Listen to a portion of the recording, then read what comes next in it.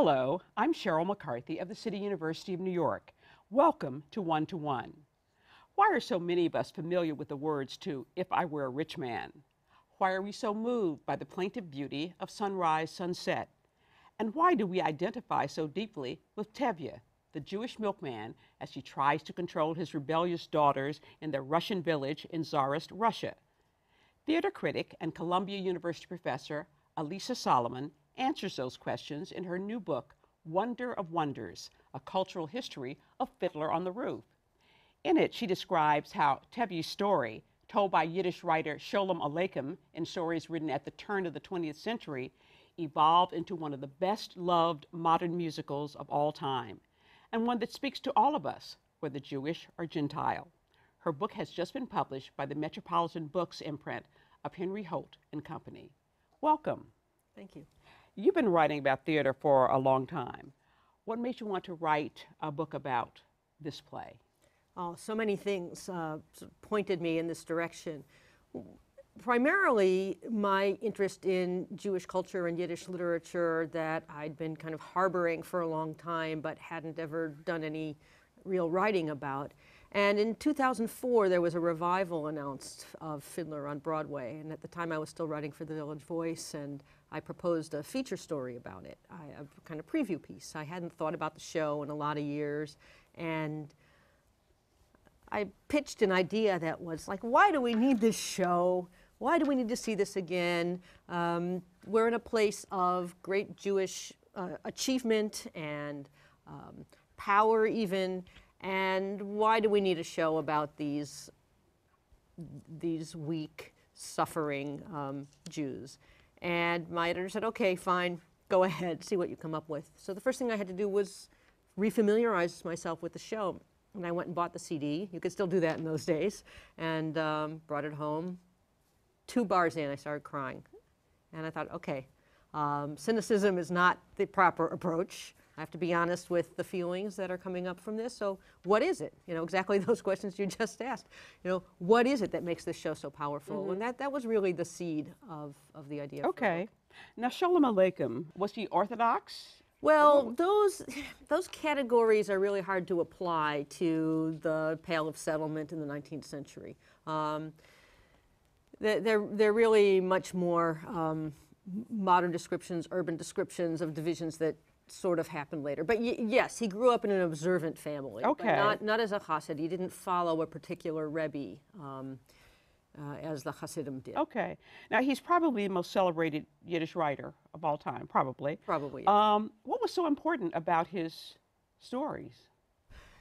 He, he was one of the first of the Yiddish writers who came to be known as the classic writers. Um, and they pretty much created a modern Yiddish literature out of whole cloth. Yiddish had been thought of as a lesser language. It was a vernacular um, spoken by everyday Jews in their everyday activities. And Hebrew, of course, was the language of prayer and was the more elevated language. And when, when in, in the, the sort of Jewish nationalistic or, or culturally nationalistic movements started to arise in the 19th century along with other kinds of, of um, cultural identifications and nationalistic movements, there was a big debate over what should be the language of the Jews, um, Hebrew or Yiddish, which was the widely spoken language. And uh, also with the rise of the Jewish Enlightenment, that um, tried to modernize, was, was a modernizing force in those communities. There was the idea that people would be uplifted through a literature in the language that they spoke. And so there was a push for a Yiddish literature to kind of, um, you know, raise up the masses, as it were. Um, but it really blossomed in no time into a vibrant, critical, multi-layered texture, uh, critical literature, mm -hmm. and mm-hmm. Sholem Aleichem was a very big part of that. Now he came to New York, I think, in, in around 1906, hoping to find success uh, on the in the Yiddish theater here. here. Um, but his plays flopped. Right. Why? Well, he wrote stories of all kinds. Um, he's most remembered for writing stories about the the, the little people, as he called them, the people of the shtetl, of the small market towns, well, sometimes big market, the market towns that had large Jewish populations, but were not exclusively Jewish. It's a kind of myth of the shtetl that's come, uh, come down to us.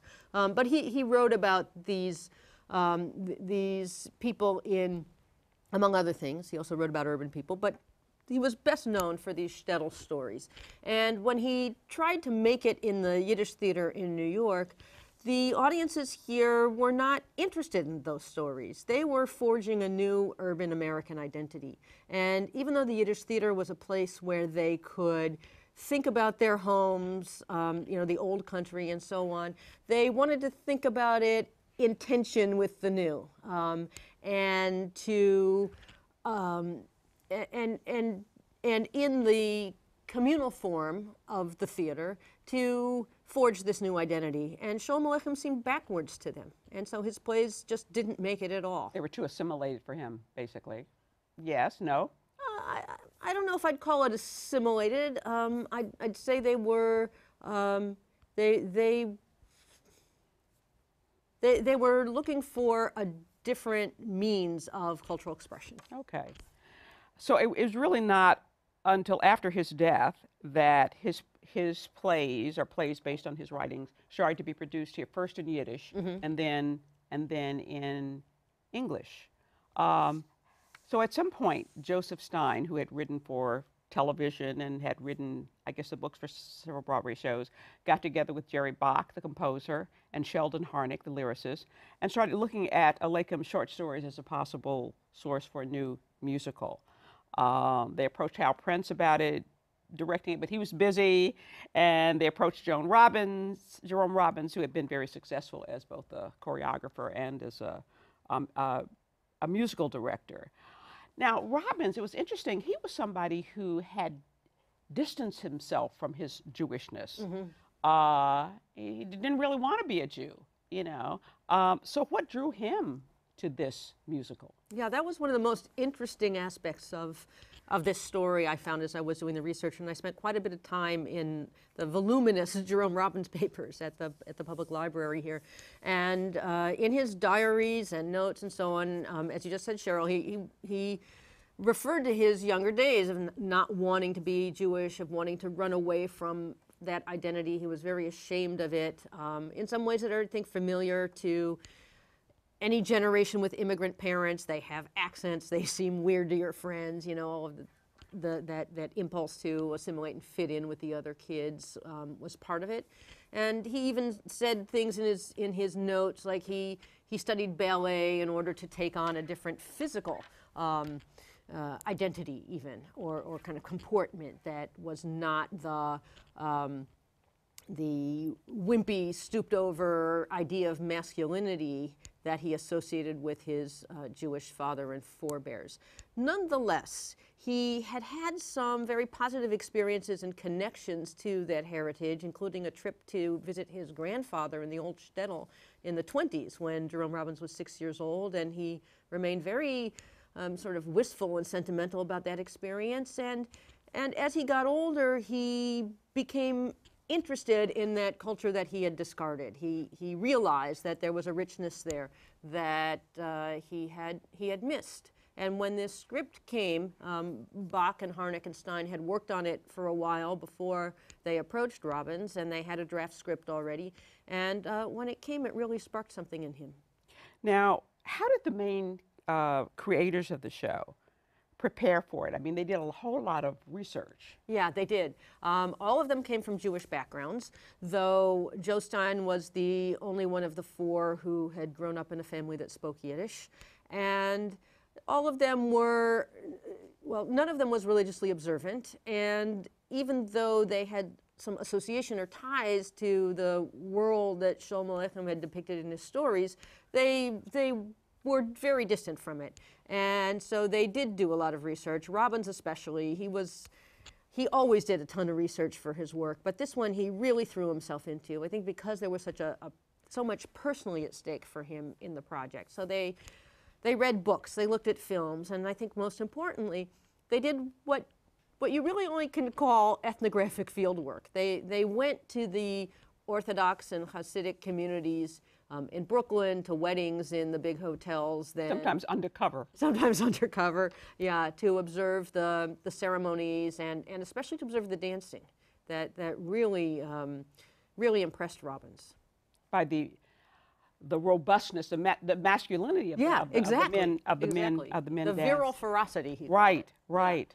Um, and as they started putting the the and, and Robbins was always asking as they started to put it together, what is the show about? Mm-hmm. And uh, he decided it was basically about the breaking down of tradition, you Right. know, uh, or the tension between tradition and and change. And the, he had his theme. Well, we're going to take a short break.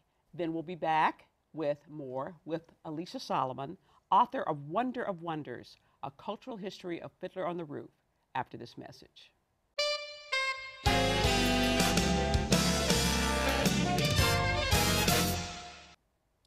Welcome back to One to One. I'm Sheryl McCarthy of the City University of New York, and I'm talking with Alisa Solomon, author of Wonder of Wonders, a cultural history of Fiddler on the Roof. It's just been published by the Metropolitan Books imprint of Henry Holt and Company. Zero Mostel was always the first choice to play Tevye. Is it Tevye? Yeah, yeah, Tevye. Um, what was he like?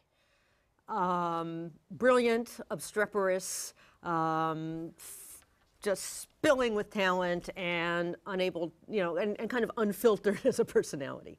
Um, Kind of crude and, and raucous. yeah, yeah, yeah, rambunctious. Right. Um, he and Robbins did not like each other. No, they did not like each other, and it was personal as well as political. Uh, Robbins had infamously named names in, before the House Un-American Activities Committee, and Mostel had been blacklisted for his political activity, and so they had a big clash um, starting right there. But their, their personalities were also quite different. You know, Robbins was very, you know, contained and proper in his.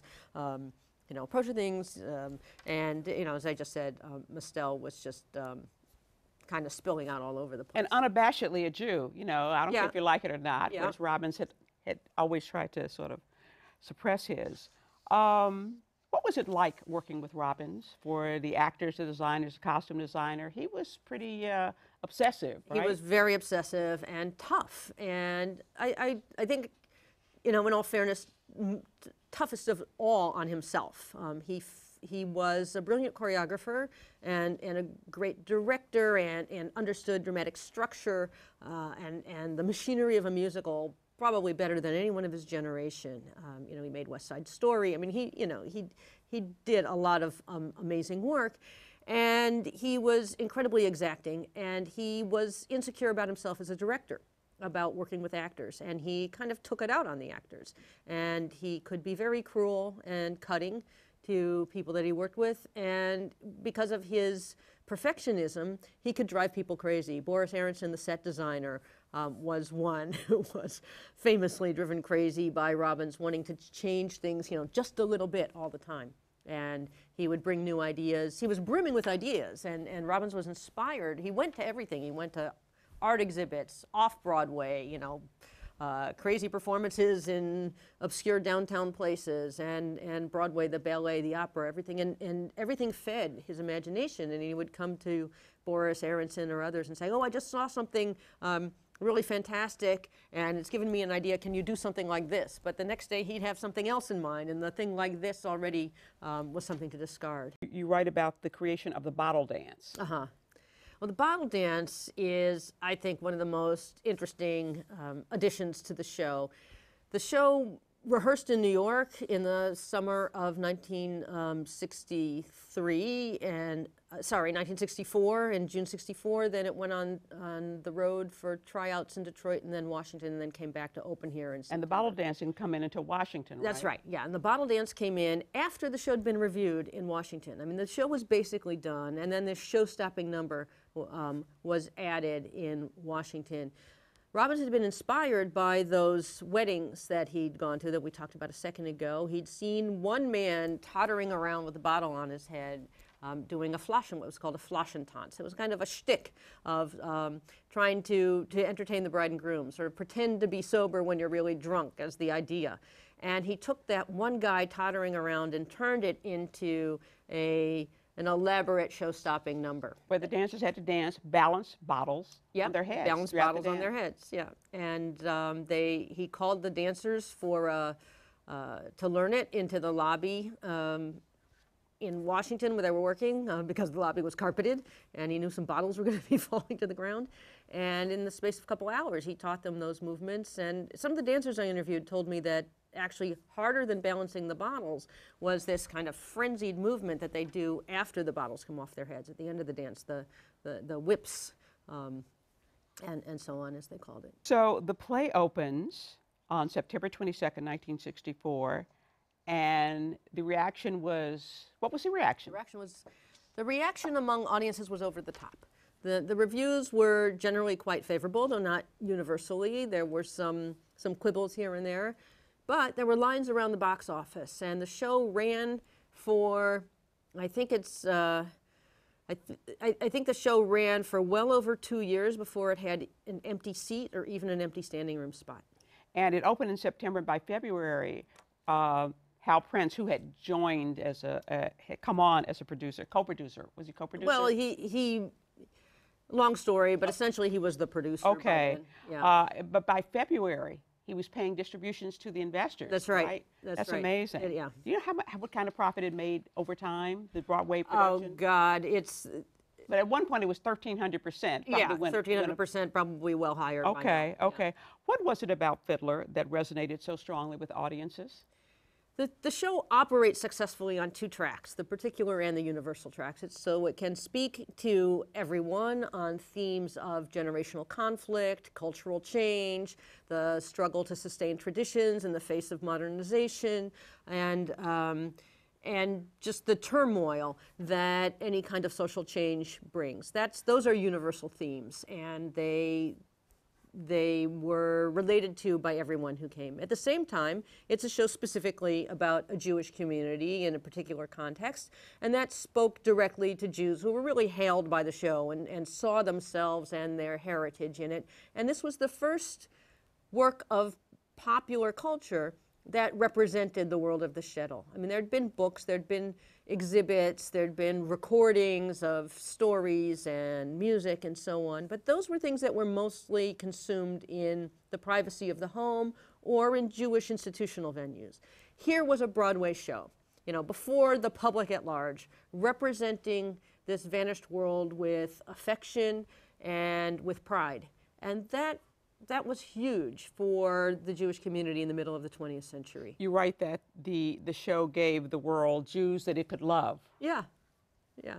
Um, so after the New York opening, the play went, well, it went around the country. It went to a lot of countries. How many countries has it been performed in? Oh God, uh, dozens and dozens. I think just within a few years. By the time the film came out, the film version in 1971, the show had already been seen in 31 countries. Wow, wow.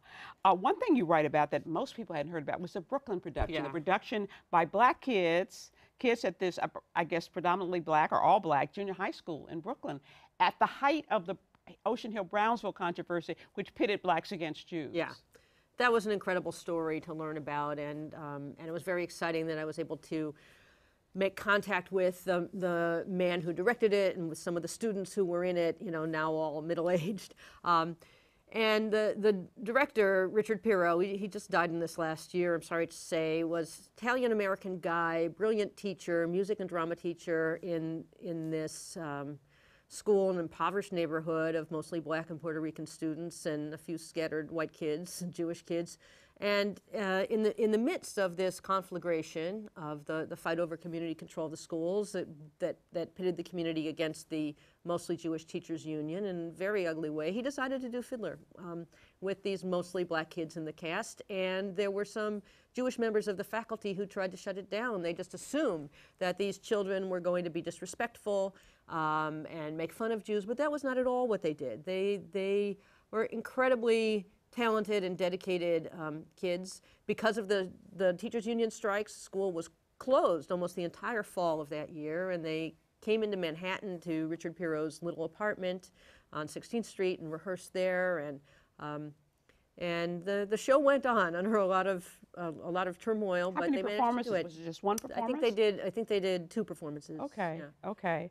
Um, Did, did Fiddler create its own mythology about Jews? Yes, yes, it absolutely did. And mythology is a good word for it. Um, as I said a little bit earlier, the, we, we have a common idea of the shtetl, for example, that it was a community only of Jews, that it was like a, a, restricted ghetto, um, which is not at all what the nature of a shtetl was. And um, different shtetls were quite different from each other. Some were rural, some were industrial. Um, they had high proportions of Jews, but they were not exclusively Jewish. So that's that's one part of the mythology I think that we have. The idea of the arranged marriage um, and, and, and the matchmaker is something that um, we ascribe to that world. Is that not, not true? It's not entirely true. The matchmaker, first of all, was typically male, and um, second of all, was really more well-to-do families that um, that used matchmakers. And so there are all kinds of historical aspects. I mean, it's a Broadway show. You know, right. we we shouldn't turn to it for uh, documentary accuracy. Um, but nonetheless, it's fed, and and it's not Fiddler alone that's fed these myths, but um, but that's there are different aspects of those mythologies that the show um, kind of helped to cement. Mm -hmm. We've got about 30 seconds oh, left. How would you describe the legacy of Fiddler? Uh, it's incredibly rich and varied. It's it's because it's a show um, that itself was changing in form. It was a time. It, it, came out at a time that the musical form was changing, and it reflects that in its its theme and its is reflected in its form. Um, and therefore, I think it's remained very open and accessible to anyone interested in all of the themes that, that it represents. So I think that it, it has uh, a lot of mileage still to go. Well, it's certainly a fascinating book, and Thank I you. would encourage all of our viewers to read it. It's really a fascinating story. Uh, I'm afraid we're out of time, but I want to thank Alisa Solomon for joining me today. Wonder of Wonders, A Cultural History of Fiddler on the Roof has just been published by the Metropolitan Books imprint of Henry Holt and Company. For the City University of New York and One to One, I'm Sheryl McCarthy.